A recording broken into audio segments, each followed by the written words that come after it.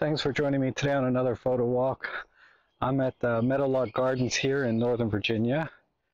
And um, I brought with me the Olympus Pen F with the 15 millimeter body cap lens. Now this lens, you know, it gets a lot of mixed reviews. Some people say it's fine for the price you pay. I paid like 30 bucks. And uh, others say it just sucks, don't buy it. But you know, my opinion is for 30 bucks, I'm kind of in the prior uh, opinion of for 30 bucks, it's not bad, right? You don't want a pixel peep. But um, anyhow, basically it's a 15 millimeter uh, at f8 and it's an equivalent to 30 millimeter full frame uh, f16 if you want to consider depth of field. But you know, these wide angle lenses don't have any depth of field. And I found that, you know, it has some basic uh, focus settings. There's sort of a normal focus setting here with a little dot. Then there's infinity, which is all the way over here. And then you can back it off for close-up focusing, and it says uh, it'll do 0.3 meters close-up focusing, so you can adjust it that way.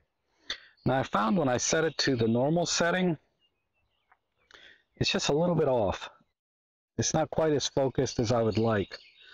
Um, so what I do is I just nudge it just a little bit past the, the normal setting here where the dot is towards infinity. And what I do is I, uh, I punch in with the magnify button just to confirm. So a lot of the shots here I will be doing using the magnify feature to uh, figure out if I've acquired the best focus this lens is capable of. Um, now focus peaking doesn't work that great on this lens because it's not a tack sharp lens. And normally focus peaking works really well when you have a very sharp lens. But with this lens, focus peaking is going to be unreliable. So I always do magnify uh, on what I want to focus on just to double check. I like this scene right here. We have some little ferns down in here and then a bench and this giant tree and then this other tree kind of wiggling its way around these other plants. Uh, and there's really only two colors here, right? Green and brown. So I may do a black and white because there's not any color to mess with anyway. I think from this distance I'll be okay. No, I need to get closer. Okay, getting closer helps a little bit. I like framing of this tree in the right. I got a little bit of this tree, but the brush here. We'll get a little bit lower because I like the way the lines lead in from the right into the frame. I wish there was something more interesting here, but we'll work with this.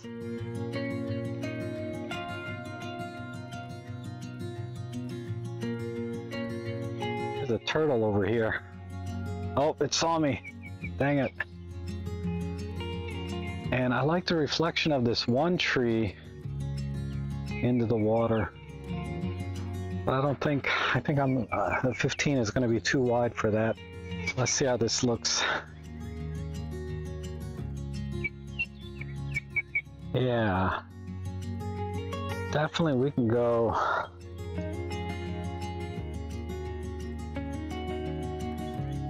I got a really nice shot of this in the wintertime when I had the 50 millimeter lens. I think it was a 50.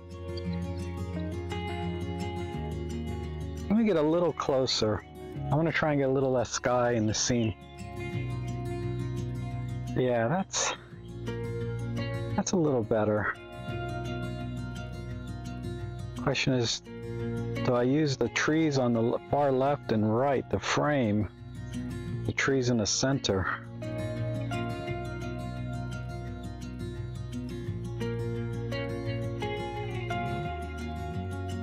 Some lovely flowers over here. These are a little bit too far back. I think I'll try right over there where Davis getting some shots. I can get a line of flowers coming in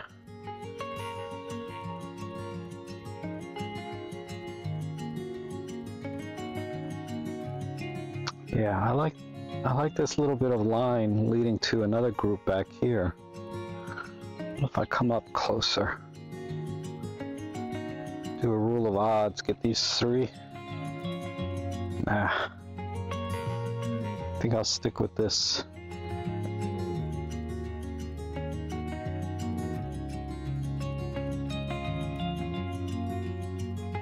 Ooh, I like the reflections of the trees over here. Yeah, the gazebo is more prominent from this side. I got the, my favorite trees over here. So the question is, do I frame this this tree or this little bit of leaves? Ah, that's a mess. I'm gonna try and frame it this way.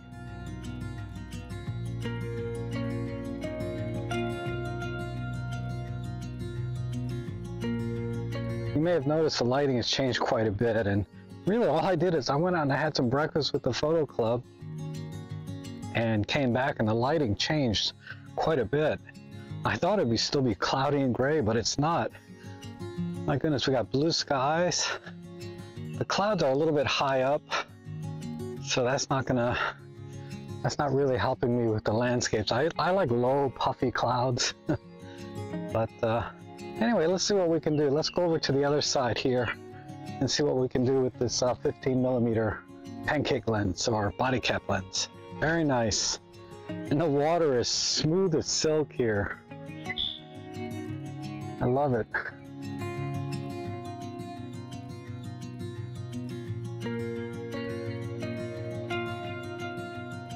I have a couple of options. There's some tall grass right here. So if I get down low and frame up, or just stay eye level. So we'll take a look both ways. Take off my sunglasses. Can't see anything. Alright, this is okay. The bridge is a little bit small in the frame. I mean, it's only this much. Uh, so I don't think it's going to matter even if I get down low at this point. Actually, this grass does help frame it a little better. Let's go ahead and try a shot from down low.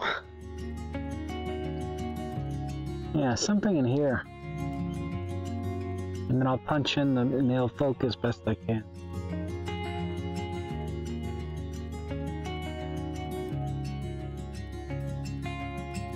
All right, now we're in range where I think this bridge will uh, make more sense.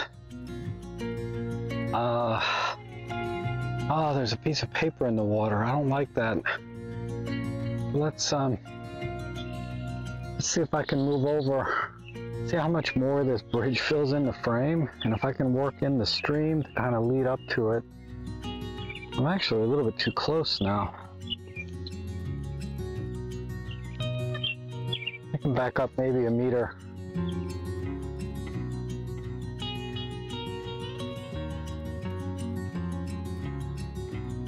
I like the, the way the shadows are hitting down here on the bottom. Nice little uh, repeating lines pattern. These always make good black and whites, right? Let's see how I can compose this. Maybe I need to get a little closer. I wonder if I can work in the verticals too. Let's get let's get inside the bridge. Ah, Need to get in a lot closer. I don't know about this tree in this uh, rocky. And have a line coming down into the corner.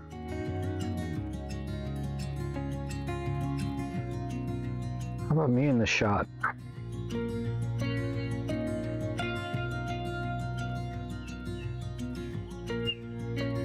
Yeah, I'll do. I, I think this will work actually.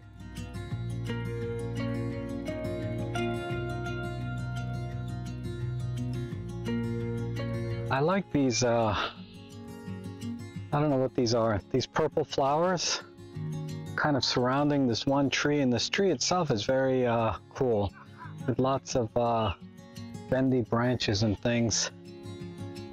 My only problem with this scene is behind the tree is kind of messing up the composition.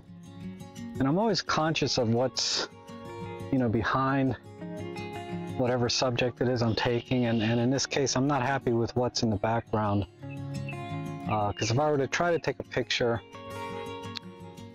the background just doesn't provide a nice backdrop for it.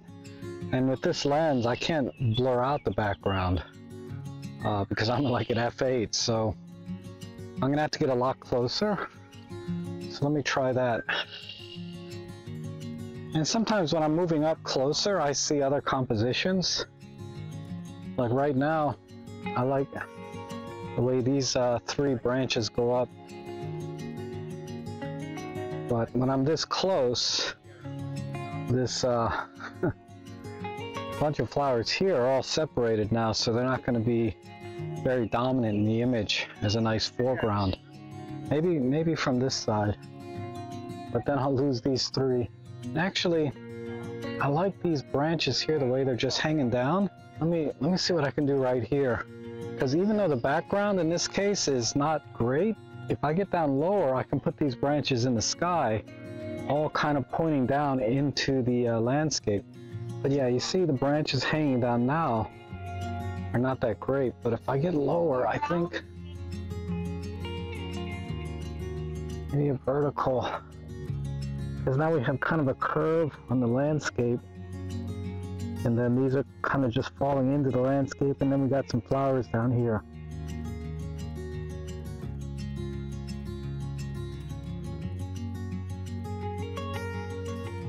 Okay, we're coming up on some kind of Korean thing here over here. Uh,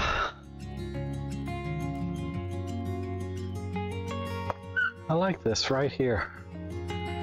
Let's um let's get a shot here. Yeah, we'll do a vertical. Can I frame this in a horizontal? Maybe. But I like the vertical too. Just come down a little lower. Make the structure higher up in the frame. Let's do this.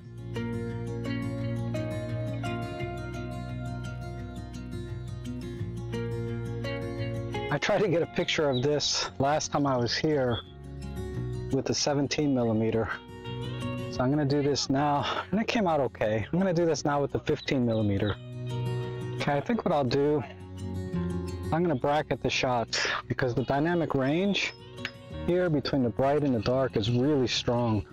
So I'm gonna do uh, three frames plus or minus 2 EV, that should be enough.